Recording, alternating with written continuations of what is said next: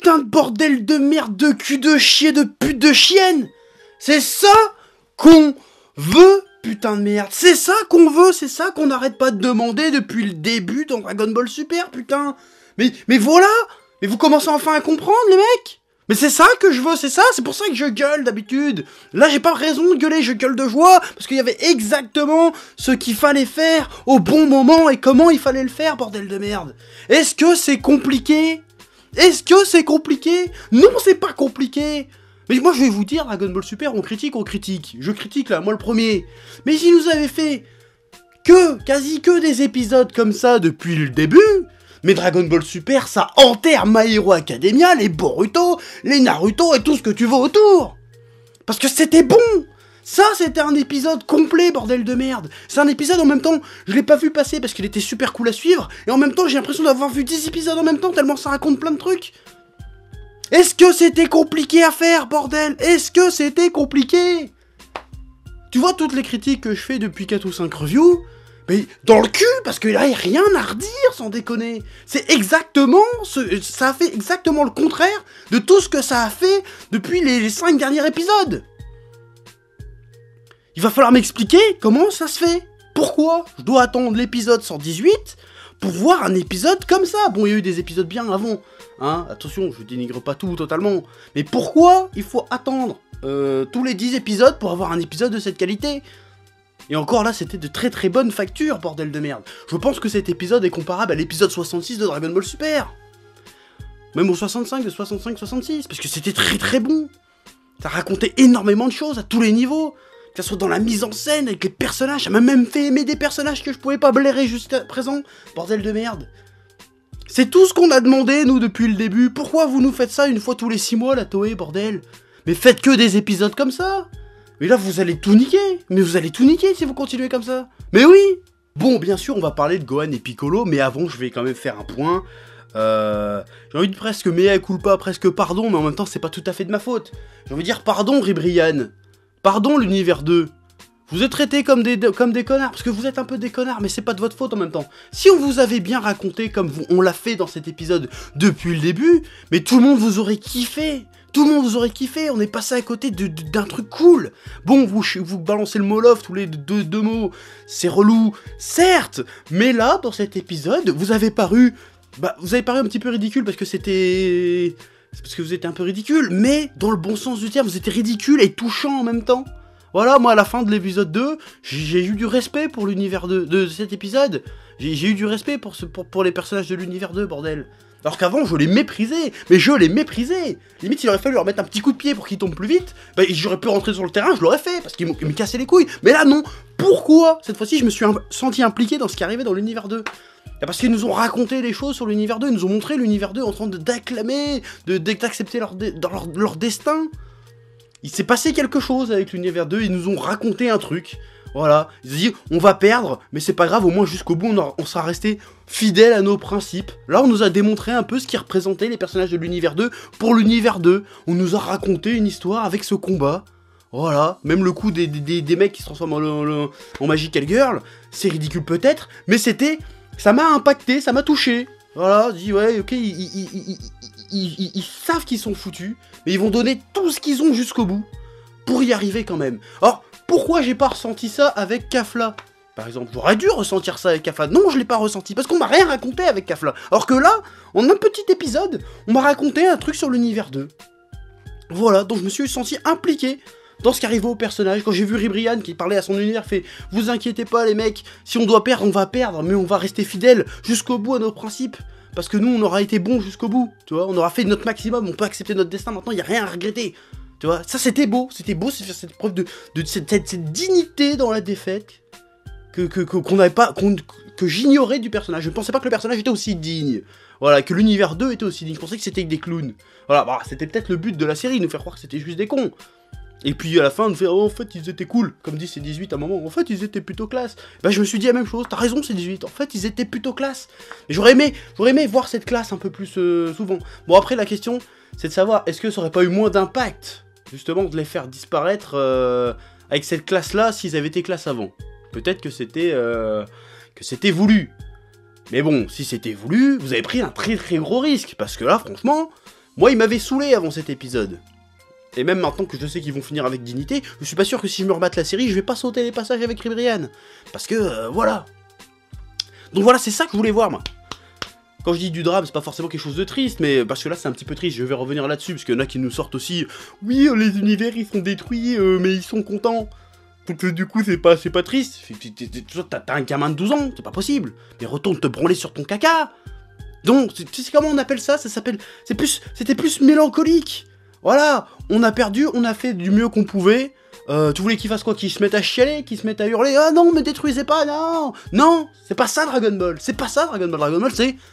On accepte son destin. Enfin, on n'accepte pas son destin, mais au moins, on part sans regret, on part comme des bonhommes. On, fait ce qu'on, on a fait ce qu'on a pu. Ça aurait servi à quoi La dernière image qu'ils allaient laisser, c'est une image de loser Non Ils ont regardé droit dans les yeux de tout le monde, ils ont fait l'amour sur vous les mecs. Et ils sont disparus avec un petit cœur en machin. Mais c'est beau, c'est beau bordel, si tu me dis que ça, ça te touche pas, mais t'es mort à l'intérieur. Même moi je suis mort à l'intérieur, putain. Je suis la pire saloperie sur Terre. Et, moi ça m'a touché, ça m'a touché, putain. Oui Bon, je vais aussi parler de l'univers 6, El Famoso Univers 6, qui était l'univers sur lequel on focalisait le plus notre attention après le 7, et évidemment après le 11. Euh, qui s'est avéré globalement décevant cet univers 6 et qui, comme l'univers 2, finalement, bah, s'est rattrapé avec ses deux derniers concurrents, enfin ses deux ou trois derniers concurrents, les deux Namek, qui n'ont pas déçu, en ce qui me concerne. J'avais un peu peur qu'ils me déçoivent, et ils m'ont pas déçu. Ils m'ont pas déçu. En plus, la relation qu'ils ont mis avec Piccolo dedans, bah, je vais en reparler après, mais là je vais parler de l'univers 6, des adieux de l'univers 6. Pareil, il y en a qui disent, ouais, ils se barrent en se marrant, euh, ouais, comme si c'était pas important. Mais t'as rien compris, mais t'as rien compris, c'est tout le contraire. Tu crois qu'ils sont en train de rigoler à l'intérieur? Putain, mais ils ont envie de chialer, mon gars, ils sont tristes. Justement, ce décalage entre ce qu'ils ressentent et le fait qu'ils fassent bonne figure pour laisser une bonne image d'eux dans leurs derniers instants, leur ultime moment, j'ai envie de dire, c'est ça qui est touchant. Parce que tu sais qu'au fond d'eux, ils sont tristes, mais qu'ils font quand même, voir, vas-y, on s'en fout, on s'éclate jusqu'à la fin. C'est ça qui est bien, c'est ça qui, qui, marche. Pourquoi, pourquoi tu chiales quand, quand, Goku il téléporte contre Cell? Parce que tu sais que lui il part avec le sourire, c'est ça qui est touchant. C'est ça qui est touchant, même Vegeta quand il sacrifie contre Boo. Il, est pas en train de chialer. Il fait A plus les mecs Bon, ça c'est Goku qui dit ça, mais il dit un truc comme ça, il dit adieu Bulma, Trunks et Karo, mais il meurt en, souriant, le gars. Pareil, Piccolo, quand, quand, il meurt, contre avec Gohan, il part en souriant, il fait ok, j'ai fait ce que j'aimais euh, jusqu'au bout. C'est ça qu'il faut voir, c'est pour ça que c'est triste. C'est encore plus triste même, c'est encore plus triste que s'ils étaient tous en train de chialer.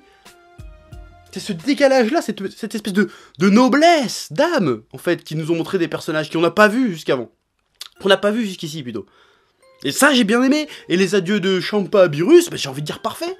Le gars, c'est son dernier au revoir. Il dit, bah, je vais pas faire un truc digne, je vais faire une petite grimace à mon frère, voilà. Et là, Birus qui, qui, reste stoïque, parce qu'il a envie de dire quelque chose, même le dit à la fin, dit quelque chose. Mais il peut pas Il peut pas Il peut pas c'est parce qu'il veut pas, il veut pas non plus laisser à son, frère la dernière image de lui en train de chialer son frère, tu vois. Il, doit rester dans son rôle de Birus, il doit rester stoïque, je suis le dieu de la destruction. Moi je chiale pas, j'en ai rien à foutre, tu vois. Pourtant, ça se voit tout de suite qu'il est triste, putain. C'est ça, en fait. La mise en scène de cet épisode, c'est que ça nous dit pas les choses, mais on le ressent dans la mise en scène, qu'est-ce qui, est en train de se passer. Et si tu l'as pas ressenti, t'as dû regarder ça avec, euh, avec les yeux comme ça, en disant oui, j'ai pas compris. Parce que c'est pas possible, tu t'es obligé, c'est universel ce qui s'est passé. T'es obligé de ressentir un truc, t'es obligé de comprendre qu'ils sont pas contents en vrai. C'est pas possible. Si tu me dis non, ils sont, ils sont juste contents, euh, lol, bah t'es un con. Je suis désolé de te le dire, hein, t'es un con. C'est pas parce que t'es pas d'accord avec moi, parce que t'es un con. tu n'as pas le, minimum requis pour comprendre Dragon Ball à ce niveau-là. Je veux dire, ça se voit dans la mise en scène que c'est triste, bordel. Tu peux pas me dire que c'est pas triste. Je, ne comprends pas que des gens arrivent à dire oh, c'est pas triste, ils sont en train de faire la fête. Mange tes morts, je te le dis. Si, si t'es pour ça, mais n'importe quoi. Non, c'était très très réussi, c'est peut-être un des passages les plus émouvants de tout Dragon Ball Super jusqu'à maintenant, merde Je ne comprends pas les gens qui n'ont pas accroché à ce passage-là, euh, ils auraient voulu faire... Euh, eh, on n'est pas dans Naruto les mecs hein. Dans Naruto ça chiale, il y a de la morvonnée et tout, même dans One Piece Mais là c'est pas le cas les mecs Là on est dans Dragon Ball Là on domine le game Non, on fait un truc triste Bon le monde pas triste en fait on, on, monte la joie dans la tristesse. Enfin, je sais pas comment expliquer ça. Mais tu sais que même si les gars sont pas en train de chialer, et pareil, tu sais qu'ils sont encore plus tristes, justement. Si tu vois, qu'est-ce que je veux dire? Oui. Bon, évidemment, l'autre grand moment, grand morceau de bravoure de cet épisode, euh, ça a été tout ce qui a été la relation Piccolo-Gohan et même Piccolo-Gohan-Goku, j'ai envie de dire. Oui, alors fort accord parce qu'il fait chaud. C'est même pas un fort accord en fait, j'ai juste enlevé ma veste parce qu'il fait chaud. Bon voilà, qu'est-ce que je disais? Donc c'est un épisode qui aussi se centre beaucoup sur la relation Gohan-Piccolo et aussi Gohan-Goku, hein, l'espèce de triangle euh, de paternité qu'il y a entre Gohan, Piccolo et Goku, euh, parce que pour moi, Gohan, et ça le montre bien dans cet épisode avec la mise en scène, je suis désolé, genre par exemple le passage où, Go, où ils refont un peu la scène où Piccolo se sacrifie pour Gohan, sauf que c'est Gohan qui sauve Piccolo en faisant à peu près la même position, euh, les mêmes plans et tout. Bon, c'est du fan service facile, mais c'est toujours très efficace, et puis c'est plein de sens. Hein On a un Piccolo qui se retrouve ben, dépassé par son élève, par son fils spirituel en quelque sorte, le côté... Euh, voilà, la boucle est, bouclée. Voilà, je te sauve, je, suis devenu un meilleur guerrier que toi. Maintenant, je, vais te, je vais te carry un petit peu, hein, comme euh, voilà. Sauf qu'il va pas jusqu'au sacrifice, mais euh, voilà, ça fonctionne. J'ai bien aimé ce côté. Voilà, vas-y fiston, prends ton envol. Cette boucle maître-élève et aussi père-fils, que je pense que Piccolo, c'est l'autre père de Gohan, et je pense que bon, je pense que tout le monde sera d'accord avec moi là-dessus. Et c'est justement d'autant plus fort que l'action de Gohan juste après avoir sauvé Piccolo, bon, en dehors qu'il se bastonne un petit peu, bah, il y a cette mise en scène avec le caméa père-fils euh, simultané, mais pas au même endroit. Cette mise en scène, tu vois, Gohan qui se cap, et après Goku fait, mais voilà, cette petite. Voilà, il, prend son envol de son père, euh, comment dire, de son père, de son maître, et il se rapproche un peu plus de son père euh, tel qu'il est, en fait. Je sais pas si j'arrive bien à, exprimer ce que j'essaie de, te dire, mais euh, je, peux t'assurer que dans ma tête ça sonne classe. Oui, j'ai eu l'impression dans cet épisode, pour reformuler de manière un peu plus claire et précise, que Gohan embrassait à la fois l'héritage de son père Piccolo, de son maître, mais aussi l'héritage de son père Goku, qui lui est son vrai père. Voilà, c'est un peu branlette, mais franchement, c'est le truc que, ça m'a ah, que ça m'a évoqué cette mise en scène euh, euh, qui non seulement rappelle le passé de, Piccolo et Gohan, mais nous montre aussi un peu le, futur probable d'une relation Gohan-Goku. Hein. Peut-être que Gohan tend plus maintenant à devenir un espèce de nouveau Goku, et ça pourrait être intéressant. En tout cas, c'est même ce que laisse suggérer le landing. Donc j'ai envie de dire pourquoi pas, et si c'était l'intention, c'est plutôt vachement bien foutu. Hein Donc euh, là, on a eu un Gohan full power euh, potentiel qui était digne d'être euh, finalement, bah, d'être digne d'être l'héritier d'un Piccolo et l'héritier d'un Goku. Voilà, là c'est ce que j'ai vu à l'écran, et c'est ce que les fans voulaient voir, je pense. En tout cas, moi en tant que fan, c'est tout ce que j'ai toujours voulu voir. Je veux revoir le Gohan Ultimate Gohan, Mystic Gohan, euh, à son plein potentiel, et je pense qu'on l'a eu dans cet épisode avec une séquence animée, ma foi, fort stylée. Le côté je sauve Piccolo, euh, même le team-up Gohan Piccolo dans ce combat était vraiment stylé, parce que moi, en plus, la mise en scène m'a bien eu durant ce combat contre les Namek. C'est que juste j'avais oublié que Piccolo était en train de charger son Makenko Sapo jusqu'au dernier moment. Hein, quand j'ai vu que Gohan était en train de galérer contre les deux Namek et que l'autre il a plongé dans le Kamehameha pour euh, bloquer Gohan, c'était trop, trop badass. Et je me suis dit merde, comment il va faire? Et puis là, boum, je vois Piccolo qui pop derrière, je mais oui, je l'avais oublié ce bâtard Et c'était trop stylé Moi j'ai eu, des, petits frissons à ce moment-là. Et Piccolo fait, ouais, vous m'avez oublié mecs Boum, Makenko Sapo, finish move Voilà, et en plus, encore une fois, hein, sans vouloir faire trop la branlette, euh, machin, voilà, ils finissent un ennemi. Euh, on a eu déjà Gohan, Goku qui finissent un ennemi. Là, on a Gohan, Piccolo. Voilà, c'est ce côté d'héritage, de triangle. C'est stylé c'est stylé, moi ça m'a beaucoup plu cette, mise en scène, et ce que ça m'a évoqué? M'a beaucoup plu. Et j'aurais voulu voir ça plus souvent dans Dragon Ball Super. Et il faut continuer là-dessus parce que c'est vachement intéressant, euh, non seulement à regarder et puis à analyser aussi derrière. Donc moi je, veux voir plus de ça. C'était dense, c'était intense, c'était du bon Dragon Ball. Bon, et puis je vais parler de Piccolo aussi en lui-même parce que bon, Piccolo qui a du scrupule à lutter contre des Namek, c'est pas dit explicitement, c'est pas dit, c'est montré dans la mise en scène qu'on comprend que Piccolo, ça le fait un peu chier de lutter contre son peuple en fait. Ça, l'emmerde. C'est justement à ce moment-là qu'il a douté et que quand Gohan l'a sauvé, il fait. Voilà, moi quand j'ai vu cette scène-là, avec euh, quand il est KO et qu'il y a Kamisama et Ney qui se pointent, déjà je dis ouf putain, ils ont osé faire une scène comme ça, j'ai l'impression que c'est un, kiff de fan, c'est un, fan qui aurait fait ça normalement. Tu vois, tu, vois le truc, fait OK, eux ils ont compris ce qu'on voulait voir. Ils ont compris ce qu'on voulait voir, ce qu'on avait besoin de voir, c'est encore plus important. Et tu vois Kamisama, il dit rien, il fait Regarde, il monte Gohan devant en train de le protéger. On a l'impression de lui dire en fait, j'ai moi j'ai eu l'impression qu'à ce moment il fait calme-toi, Piccolo, ta famille, elle est devant, c'est pas eux, c'est lui, là, derrière, c'est Gohan, tu vois. C'est ça que j'ai, j'ai, j'ai, je l'ai perçu comme ça. Et il n'y a pas eu besoin de dialogue, j'ai compris direct. Bon, après, peut-être qu'il me fait des films, mais on, on a compris direct qu'il se passait quelque chose. Et puis Piccolo, il se relève, il fait Ouais, c'est vrai, peu importe l'ennemi, euh, Gohan, moi je t'ai dit, je t'enseigne d'être un, un, guerrier, tu viens me rappeler que c'est quoi d'être un guerrier, et que l'important, bah c'est nous, c'est pas les autres, c'est peu importe qui en face, on se donne à fond. Bah voilà, ça c'était bien, c'est de la bonne mise en scène, ça j'ai bien kiffé. C'est ça qui était beau.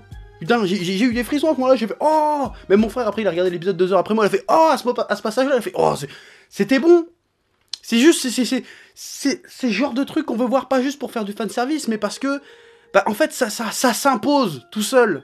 Tu fais un combat Piccolo Gohan contre d'autres Namek, il y a des trucs qui, sont naturels, qui doivent arriver. Surtout que les Namek en face, bah, c'était aussi des fusions de Namek. Donc ça, ça, évoque quelque chose à Piccolo, genre de truc là. Il fallait que ça, ça vienne sur le tapis à un moment donné. Non seulement on revoit un petit peu la mythologie des Namek, mais aussi la mythologie de Piccolo euh, avec ce plan. Donc euh, dans cet épisode, on a résumé toute la relation Gohan-Piccolo et la relation même Gohan-Goku, et ça, c'est trouvé ça vachement cool, vachement intéressant. Moi, quand je gueule sur les autres épisodes, c'est parce que je veux qu'on me raconte ce genre de truc-là. Et en plus, ce qui est bien dans cet épisode, c'est qu'on nous a raconté tout ça, pas sans dialogue, c'est la mise en scène qui a tout raconté. Comme dans le manga Dragon Ball, c'est la mise en scène qui raconte tout. Il n'y a pas besoin, c'est pas. Bah, je vais dire encore l'exemple, c'est pas Naruto, il n'y a pas besoin de tout expliquer.